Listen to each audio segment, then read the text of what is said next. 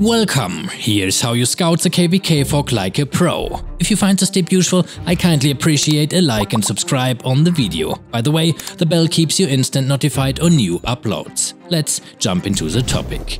Move your view to the edge of the KVK map and slide over to the map on the other side. If you scroll back, you can see the unfogged KVK map for a short duration of time. Find a cave near the border, zoom in with a double click and keep clicking on the cave till the investigate pop-up appears. Now your scouts are starting onto a long journey, clearing huge amounts of fog with ease while being able to early scout locations of interest. Once you created small passages with your scouts, you can always expand to scout at any location you reached. This is not a big deal, but can give a slight time advantage as also lower the effort to clear the fog. More tips coming up, so stay tuned. Have a good day, enjoy and see you on the next one.